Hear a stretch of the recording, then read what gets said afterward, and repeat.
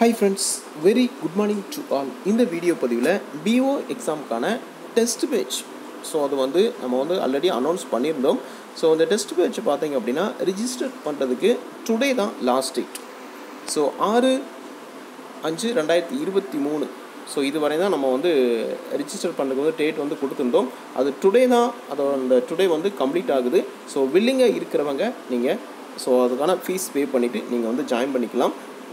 இந்த சான்ஸை மட்டும் மிஸ் பண்ணிடாதீங்க. இதை மிஸ் பண்ணிட்டீங்க அப்படின்னா ஸோ நெக்ஸ்ட்டு நீங்கள் ஜாயின் பண்ண நினச்சாலும் நெக்ஸ்ட்டு நியூ டெஸ்ட் பேஜ் வரைக்கும் நீங்கள் வெயிட் பண்ண வேண்டியதாக இருக்கும். பட் இதுதான் கரெக்டான டைம் ஏன்னா இந்த நோட்டிஃபிகேஷன் பிஓ எக்ஸாமுக்கான நோட்டிஃபிகேஷன் வந்து மே எண்டுக்குள்ளே நமக்கு நோட்டிஃபிகேஷன் வந்து ஸோ கம்பல்சரி நமக்கு வந்து வந்துடும் பட் அந்த வந்ததுக்கு அப்புறம் நமக்கு டூரேஷன் அப்படின்னு பார்க்கும்போது ஒரு த்ரீ மந்த் அப்படிங்கிறத வந்து கொடுப்பாங்க. ஸோ அந்த த்ரீ மந்த்தை ஃபேஸ் பண்ணி தான் இந்த டெஸ்ட் பேஜ் ஷெடியூல் வந்து உங்களுக்கு இருக்கும். ஸோ டெஸ்ட் பேச்சை பொறுத்த வரைக்கும் total number of test batch test அப்படின்னு பார்க்கும்போது ஃபிஃப்டீன் டெஸ்ட் இருக்கும். அந்த ஃபிஃப்டீன் டெஸ்ட்டுமே உங்களுக்கு எப்படி அங்கே கொஷின் கேட்குறாங்களோ அதை ஃபேஸ் பண்ணி தான் அது இது இருக்கும். அதாவது ஒரு யூனிட்டில் எத்தனை கொஷின்ஸ் கேட்குறாங்க ஒன் டு செவன் யூனிட்டில் இருக்கும். செவன் யூனிட்லேயும் எத்தனை எத்தனை கொஷின் கேட்குறாங்களோ அதை ஃபேஸ் பண்ணி டோட்டலாக உங்களுக்கு ஒன் ஃபிஃப்டி கொஷின்ஸ் இருக்கும். அந்த ஒன் ஃபிஃப்டி கொஷின்ஸுமே தமிழ் அண்ட் இங்கிலீஷ் வெர்ஷனில் இருக்கும். ஸோ அங்கே எப்படி கேட்குறாங்களோ டிஆர்பி போர்ட்லேருந்து எப்படி கேட்குறாங்களோ அதே பேட்டர்னில் தான் உங்களுக்கு கொஷின்ஸ் இருக்கும்.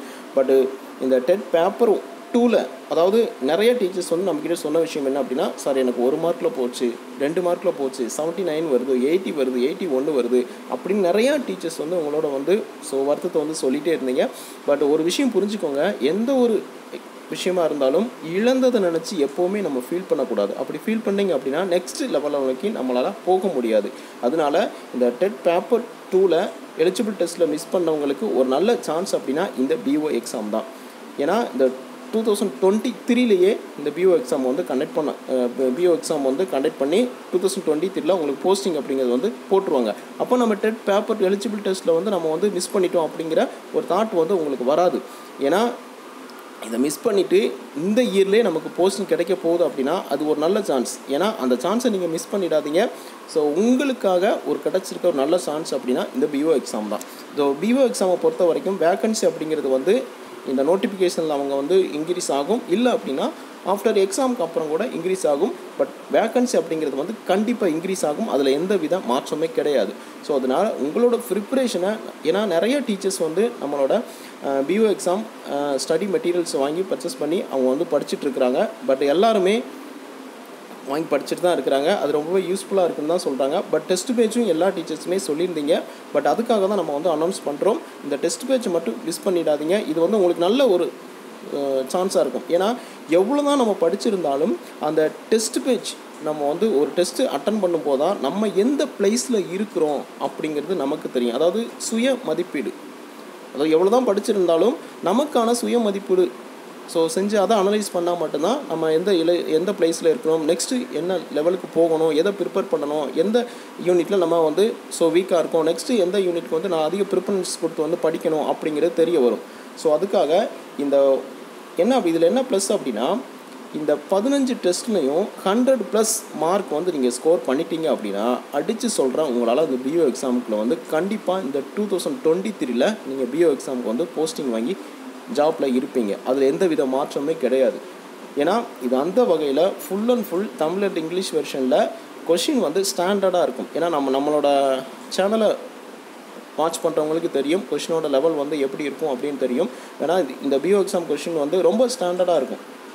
தமிழ் அண்ட் இங்கிலீஷ் வெர்ஷனில் இருக்கும். இந்த பதினஞ்சு கொஷினை நல்லா நீங்கள் அனலைஸ் பண்ணி ஏன்னா படிக்கிறதுக்கு வந்து டைம் இருக்கும். ஒவ்வொரு இந்த ஷெடியூலில் பார்த்தீங்கன்னா தெரியும். ஒவ்வொரு எக்ஸாமுக்கும் மினிமம் வந்து ஒரு ஃபைவ் டேஸ் வந்து உங்களுக்கு கேப் இருக்கும். அதுக்கப்புறம் தான் டெஸ்ட் இருக்கும். ஆனால் நல்ல சான்ஸ் நல்லா ஒரு ஃபைவ் டேஸ் அப்படின்னு பார்க்கும்போது நம்ம ஒன் டு செவன் யூனிட் வந்து நல்லா படிச்சிடலாம். எக்ஸாமும் நல்லா அட்டன் பண்ணலாம். இந்த எக்ஸாம் பொறுத்த வரைக்கும் நீங்கள் வந்து ஸோ ஃபீஸ் அப்படின்னு பார்த்தீங்க அப்படின்னா ஸோ ரெண்டாயிரத்தி நூறுரூபா வரும். ஸோ அதை பே பண்ணிவிட்டு நீங்கள் கிரீன் ஷாட் மென்ஷன் பண்ணிங்க அப்படின்னா நீங்கள் வந்து டெஸ்ட் பேஜில் வந்து ஜாயின் பண்ணிக்கலாம். அந்த இந்த ஷெடியூல் படி உங்களுக்கு வந்து டெஸ்ட்டு வந்து செப்பரேட்டாக உங்களோட வாட்ஸ்அப்க்கு வந்து பிடிஎஃபாக வரும். அதில் கீ ஆன்சருமே லாஸ்ட் இருக்கும். நீங்கள் எல்லாமே நீங்கள் ஒர்க் அவுட் பண்ணிவிட்டு மார்க் எவ்வளோ அப்படிங்கிறத வந்து நீங்கள் மென்ஷன் பண்ணிங்க அப்படின்னா பட் நீங்கள் எவ்வளோ மார்க் எடுத்துருக்கீங்க இன்னும் எப்படி கொஷின்ஸ் கேட்கணும் எந்த யூனிட்லேருந்து அதிக கொஷின்ஸ் வந்து கேட்கணும் அப்படிங்கிறது வந்து ஸோ எங்களுக்கு தெரியும். ஸோ அதுக்காக இந்த சான்ஸை மட்டும் மிஸ் பண்ணிடாதீங்க. ஸோ நோட்டிஃபிகேஷன் அப்படிங்கிறது வந்து ஸோ இந்த மே மந்த்து எண்டில் ஸோ குயிக்காகவே நமக்கு வந்துடும் ஸோ அதனால் உங்களோட ப்ரிப்பரேஷனை வந்து ஸ்டார்ட் பண்ணுங்கள் ஸ்டடி மெட்டீரியல் வேணுங்கிறவங்களும் யூனிட் வைஸ் வந்து நம்மக்கிட்ட பிடிஎஃப் வந்து அவைலபிளாக இருக்குது. நீங்கள் வந்து ஸோ அதை வந்து நீங்கள் பர்ச்சேஸ் பண்ணிக்கலாம். ஸோ இந்த டெஸ்ட் பேட்டில் டெஸ்ட் பேட்சில் ஜாயின் பண்ணுறதுக்கு டுடே தான் லாஸ்ட் டேட் ஸோ அதனால் மிஸ் பண்ணிடாதீங்க. சூப்பர் சான்ஸ் ஸோ இந்த சான்ஸை மட்டும் எப்போவுமே மிஸ் பண்ணிடாதீங்க. ஸோ இனிமேல் நீங்கள் டெஸ்ட் பேஜ் வேணும்னு நினச்சாலும் நெக்ஸ்ட்டு நியூ பேஜ் எப்போ ஜாயின் பண்ணணும் அப்படிங்கிறது வந்து ஸோ தெரியாது. அதனால இப்போவே நீங்கள் ஜாயின் பண்ணிடுங்க அதுதான் உங்களுக்கான கிடச்சிருக்க ஒரு நல்ல சான்ஸ் அப்படின்னு தான் நான் சொல்லுவேன். ஸோ அதனால் இந்த சான்ஸை மட்டும் மிஸ் பண்ணிடாதீங்க. டுடே வந்து நீங்கள் அதுக்கான ஃபீஸ் பே பண்ணிவிட்டு நீங்கள் ஜாயின் பண்ணிக்கோங்க. Okay friends thank you